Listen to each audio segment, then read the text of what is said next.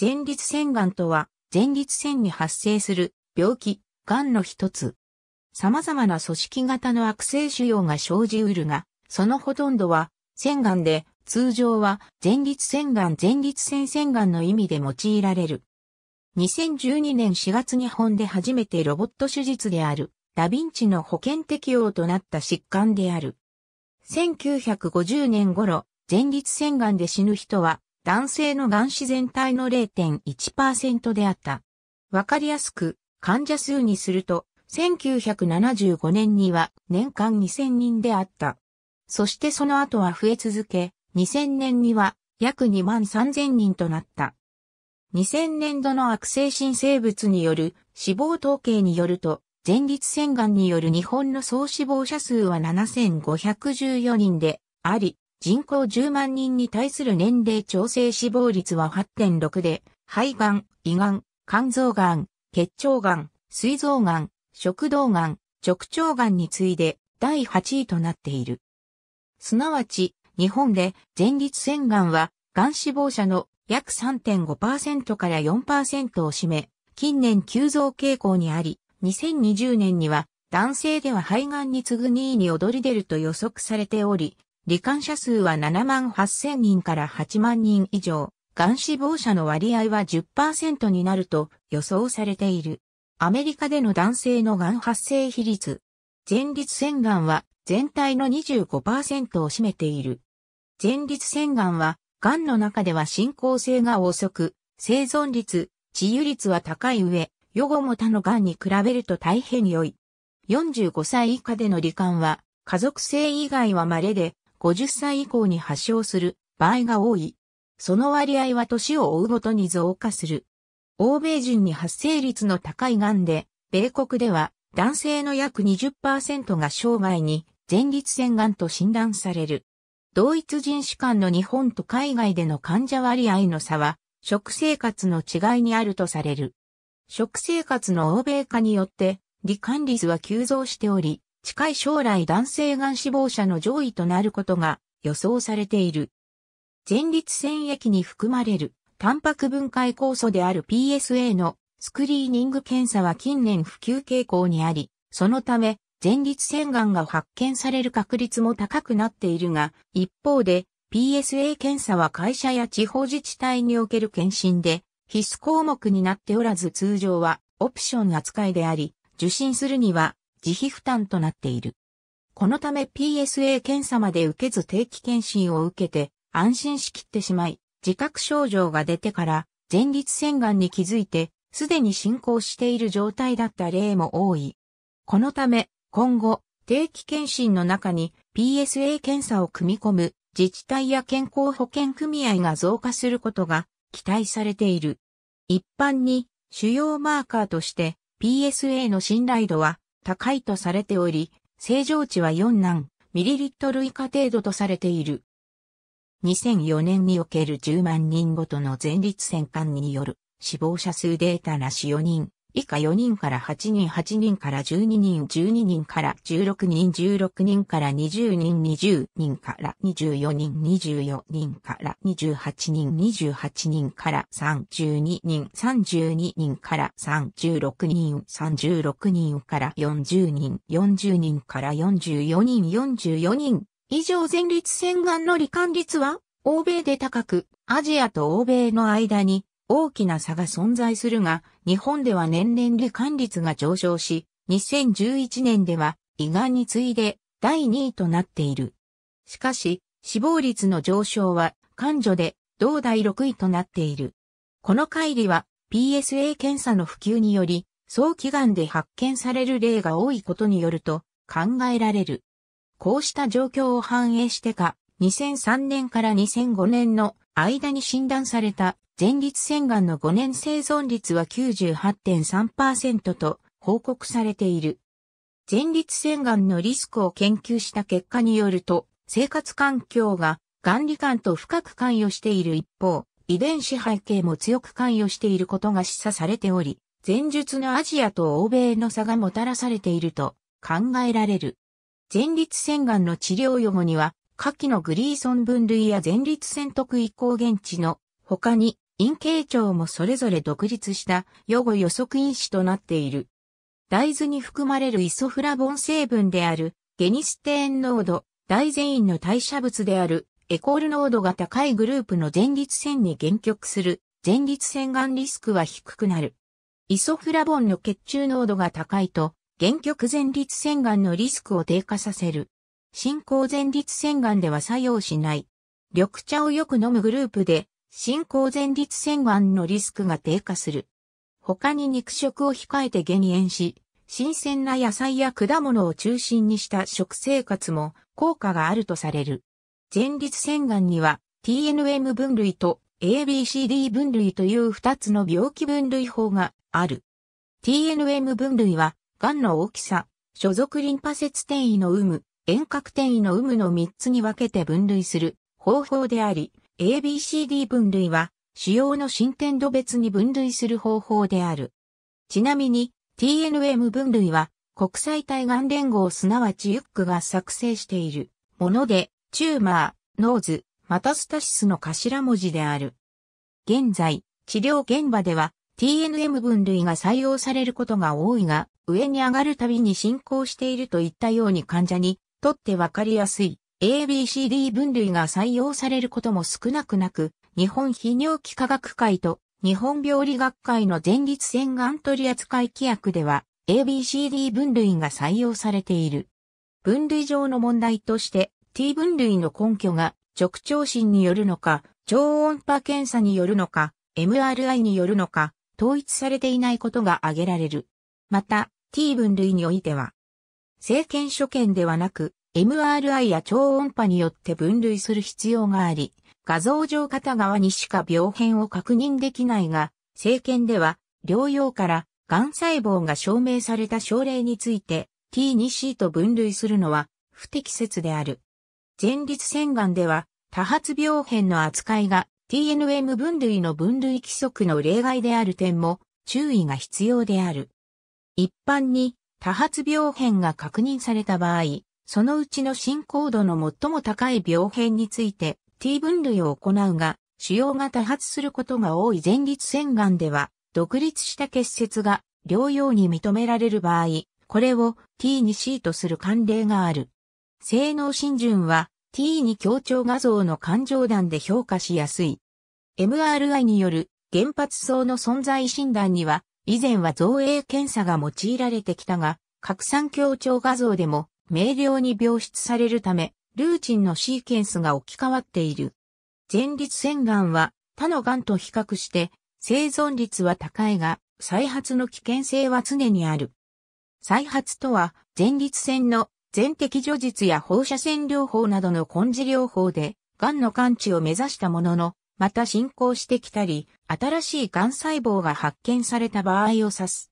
前立腺癌の再発には、PSA 再発と臨床的再発の2種類がある。再燃とは、癌で根治治療を選択せず、あるいは発見された時に、すでに根治治療が不可能だったためにうち、分泌療法を行い、それが効いて、癌の進行が一時停止していたのに、また、癌細胞が増殖することを言う。癌細胞は内分泌療法によって抑え込まれていても、抵抗力をつけるので内分泌療法の効果はだんだんなくなっていき、半数以上は5年以内に効かなくなっていく。癌の再発と再燃はそれぞれ意味が違い、対処法も変わるためいずれにしても定期的な検診による早期発見が重要である。前立腺がんは発見時における状態をもとにして治療法を選択する。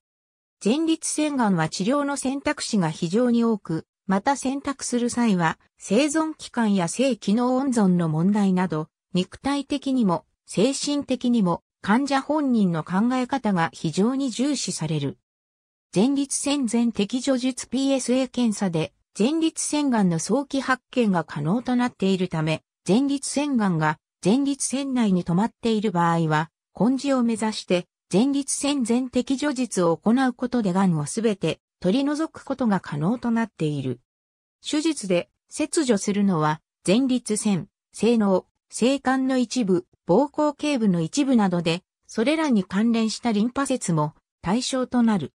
しかし、リンパ節覚醒に関しては、所属リンパ節をすべて切除するのではなく、閉鎖リンパ節だけ覚醒するという術式が採用されることもある。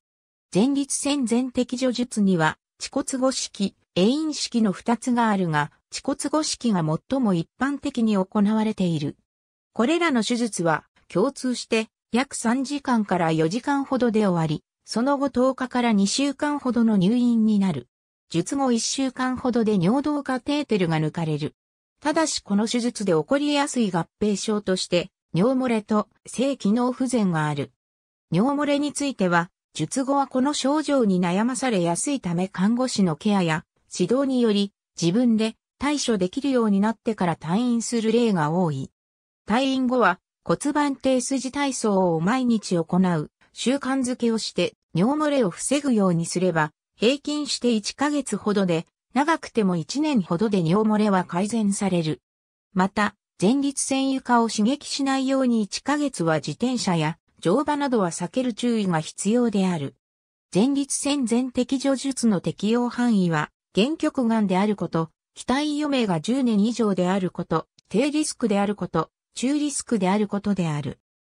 前立腺全摘除術は簡単なように言われているが、前立腺は体の深部にあり、周囲を様々な臓器に囲まれているため、また、前立腺の前面には静脈が密集している部分があるため、回復による前立腺全摘除術は大量の出血を起こしやすい難しい手術である。このため、事前に自らの血液を採血して保存しておき、自己輸血できるようにする場合もある。大体の場合、1週間から10日間隔で2回から3回、400ml ずつ採血して保存する。腹空鏡下前立腺全摘除術腹空鏡、下前立腺全摘除術とは、腹空鏡という内視鏡を使って行う手術である。腹空鏡を患者の体内に挿入するため、腹部に 5mm から 12mm の穴を複数個開け、ここから内視鏡や手術器具を挿入する。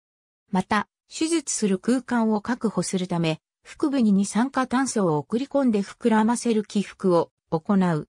実際の作業はカメラの画像をモニターで見ながら行い、幹部をよく観察しながら、体外から手術器具を操作して、前立腺や性能を摘出する。ダヴィンチ手術2012年4月に保険収載された。腹腔鏡手術はモニターを見て、手術をするために次元の映像を見ての手術となるが、ダヴィンチは3次元立体画像を表示で技術者はそれを見て手術を行える。さらに腹腔鏡手術で使う監視と違い、多関節の監視であるため、細かい作業が可能となり、また手ぶれ防止機能も搭載されている。近年、前立腺がんの放射線療法には、新しい方法が次々と登場し、それだけに治療の選択も広がっているため、個々の特徴を見極めて自分に合った選択をする必要がある。外照射外照射としては現在では、強度変調放射線治療による放射線治療が増加している。この治療法で治療した場合、直腸出血などの有害事象を減ずることができるため、照射する線量を増加させることが可能になり、局所制御率の向上につながっている。アリサイクズラは、イムトで 81G 照射し、10年 PSA 制御率が低、中、高リスクで81%、78%、62%と報告している。また、画像誘導放射線治療の臨床応用も進んでいるほか、陽子線、重粒子線を用いた粒子線治療や対幹部低放射線治療も行われている。外照射の治療適用はほぼすべての病気に対してであり、癌が性能以外の多臓器浸潤がなく、遠隔転移がないなら、根治が期待できる。ただし、前立腺の被膜を超えているなどの局所進行癌では、内分泌療法との併用が進められ、通常半年程度内分泌療法を先行させた後、外照射を行う。小宣言治療小宣言治療といって、前立腺癌組織に直接放射線の出る粒を侵入し、前立腺癌を治すという治療法がある。これには、一生小宣言を留置したままの125愛治療と一時的に宣言を留置する治療とがあり、双方とも優れた臨床成績が報告されている。非密封小宣言治療前立腺がんは進行すると骨転移をきたし、それによる疼痛に苦しむこともある。箇所が少なければ、外照射により、疼痛の軽減を図れるが、多発骨転移である場合には、外照射で対応することが困難な場合がある。一定の要件を満たす患者に対しては、89SR を血管内投与することにより、疼痛の軽減が図る治療がかつては行われていた。